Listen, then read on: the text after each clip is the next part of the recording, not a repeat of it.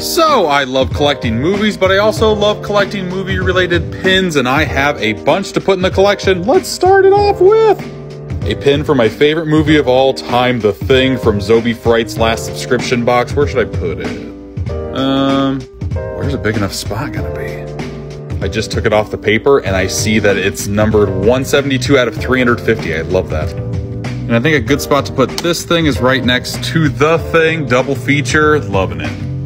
Next up, I've got the cutest little pin for Psycho. I think there's gonna be room right here. Boom, there it is, loving it. I've got a lot of knife pins in here. I just found this cute little one for Alien. Oh, you face hugger. And I think it's gonna fit perfectly in this corner. Yes, it does. Next up, here is one from A Clockwork Orange. I love this pin so much. Ended up putting this one right behind the ears of the Donnie Darko bunny. I had to put something there. I think it fits nice.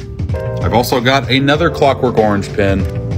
This is a big honker. There's not a lot of big honking spaces left. I gotta put it right there. I am loving this Macaulay Culkin Home Alone pin. I couldn't feel myself putting it in, but it like barely fits above that Obey sunglasses. Thank God it does. All right next to a Dalmatian. And finally, we have a Deadite from Evil Dead. And this one's gonna go right above Ghostface. I'm running out of room on this wall very quickly. But I love how it looks all the way full. I'm gonna click this sucker shut, and I can always have a second one of these, right? I can, I can place it down here somewhere. I have an addiction and I will not stop.